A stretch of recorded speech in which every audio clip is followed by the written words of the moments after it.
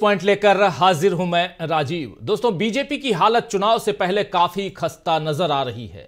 एक तो मोदी ने 400 पार का नारा दे दिया है, जिसे पूरा कर पाना मुश्किल ही नहीं, बल्कि असंभव दिख रहा है, क्योंकि अब जनता न हिंदुत्व के मुद्दे पर बहकती हुई दिखाई दे रही है और न ही राष्ट्रवाद में बहती हुई नज़र आ रही है। वहीं बीजेपी में अंदर खाने घमासान मचा हुआ है। उसके कई सांसद पार्टी छोड़ चुके हैं और जो नहीं छोड़ रहे हैं, वो किसी न किसी तरह दबाव बना रहे हैं। ऊपर से बीजेपी ने सत्ता के लालच में जोड़ तोड़ वाला जो गठबंधन तैयार किया है, उसमें भी दरारें पड़ चुकी हैं। यानी बीजेपी के लिए चारों तरफ़ से चुनौतियाँ ही चुनौतियाँ नज़र आ रही हैं और मोदी इन चुनौतियों से आँख मूंद कर रेत में सिर घुसाए तीसरी बार जीत का दावा कर रहे हैं। वहीं दूसरी तरफ़ अगर देखें तो कांग्रेस ने अपना जो घोषणा पत्र जारी किया है, अब उसे जनता के बीच पहुँचाने की शुरुआत भी हो गई है। कल आपने देखा ही है कि किस तरह जयपुर के बाद हैदराबाद में लाखों लोगों की भीड़ जुटी, जहाँ राहुल गांधी ने चुनावी वादों को जनता के बीच रखा। क्या कुछ कहा राहुल गांधी ने? ये देखिए जो तस्वीर है, ये भीड़ हैदराबाद की है, जहाँ राहुल गांधी की सभा थी और इस सभा में तेलुगु में राहुल गांधी ने, यानी तेलंगाना की भाषा कह लें, वहाँ की लोकल भाषा में राहुल गांधी ने इस घोषणा पत्र को, जिसे कांग्रेस पार्टी ने न्याय पत्र नाम दिया है, उसको यहाँ जनता के बीच रखा। इस मौके पर राहुल गांधी ने क्या कुछ कहा? आइए जरा उसकी एक बानगी सुनते हैं।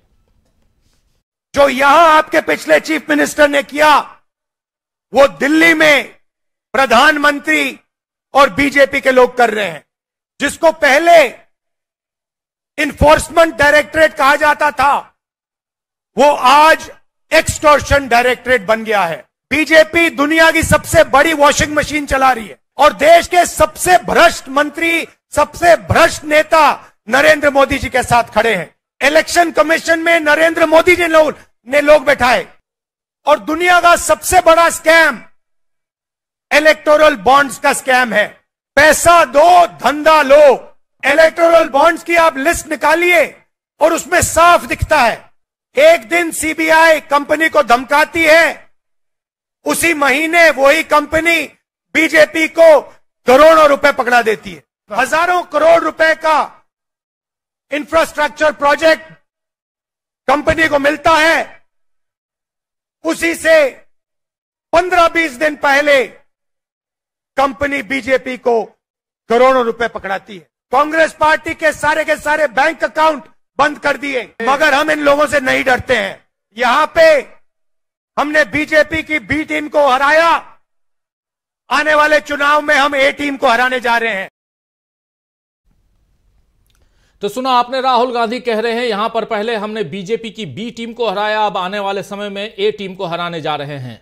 और उसके बाद हैदराबाद से लौटकर राहुल गांधी ने आधी रात को जनता के लिए एक खास संदेश भी वीडियो के ज़रिए जारी किया। आइए जरा उसको भी देख लेते हैं, आप भी सुनिए, क्या कुछ कह रहे हैं एक वीडियो संदेश में। राहुल गांधी जब हैदराबाद से लौट रहे थे, दिल्ली एयरपोर्ट से बाहर निकले तो उनके साथियों ने कहा कि आप एक वीडियो बनाइए और उस वीडियो में आप तरोताजा दिखें, वो भी रहना चाहिए मुस्कुरा मुस्कुराते हुए भी रहिए। ये तमाम बातें राहुल गांधी उस वीडियो में कह रहे हैं। सुनिए जरा, देखिए।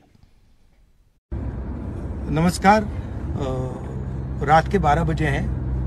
मेरी टीम ने कहा है कि मुझे बहुत एनर्जी के साथ ये वीडियो करना है, मुस्कुरा के ये वीडियो करना है। अभी मैं तेलंगाना से लैंड किया हूँ। मैनिफेस्टो रिलीज़ का फ़ंक्शन था, बहुत अच्छा फ़ंक्शन था, काफ़ी लोग थे।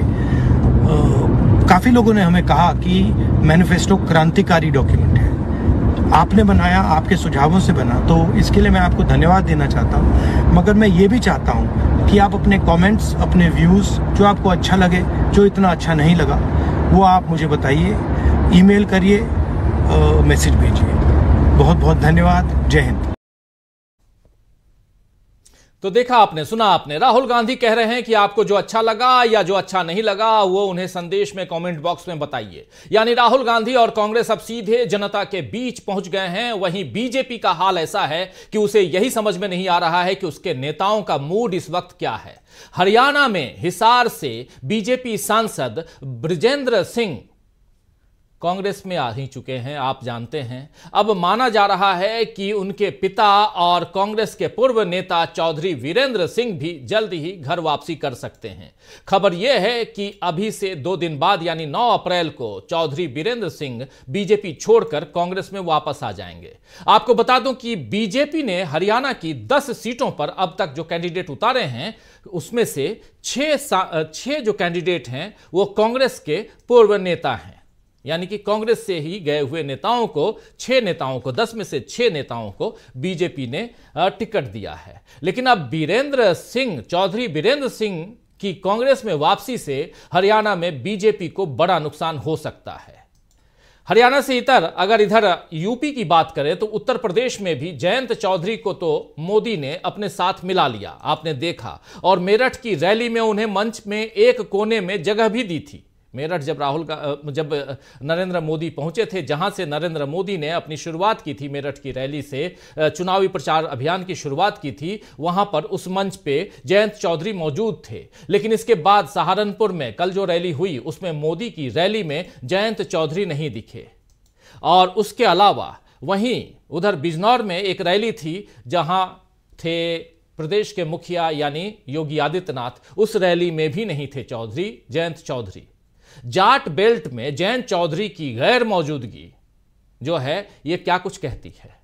यहाँ उनकी मौजूदगी होनी चाहिए थी, वो ज़रूरी थी। लेकिन जयंत चौधरी के समर्थकों को तब बड़ी निराशा लगी जब उन्हें वो मंच पर नहीं दिखे। अब सवाल यह है कि क्या बीजेपी ने जयंत से अभी से किनारा करना शुरू कर दिया है? या जयंत चौधरी को अब फिर से पलटने की ज़रूरत महसूस हो रही है?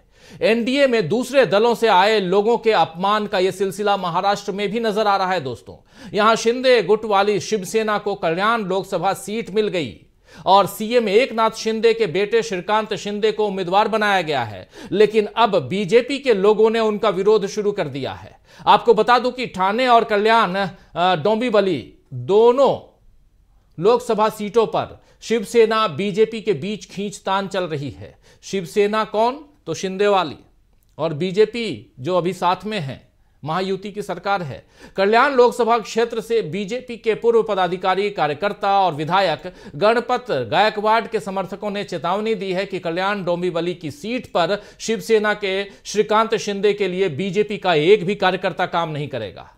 यहाँ बात भले ही एक सीट पर विरोध की दिख रही हो दोस्तों, लेकिन असल में यह बता रही है यह बात इससे ज़ाहिर होता है कि महाराष्ट्र में महायुति सरकार में सब कुछ ठीक नहीं चल रहा है और एनडीए में दरार महाराष्ट्र में भी पड़ चुकी है।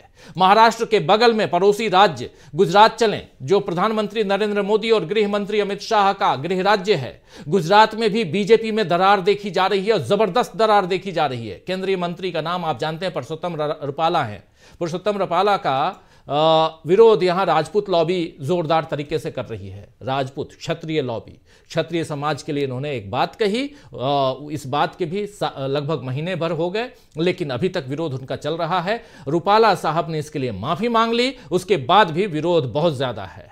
तो जोरदार तरीके से पुरुषोत्तम रूपाला केंद्रीय मंत्री का विरोध हो रहा है और बीजेपी से मांग कर रहे हैं वहाँ के लोग कि उनकी राजकोट से उम्मीदवारी बदली जाए। इसके अलावा भी कई और सीटों पर साबरकाठा है, अमरेली है, पोरबंदर है, ऐसी सीटों पर भी बीजेपी प्रत्याशियों से कार्यकर्ता नाराज़ हैं।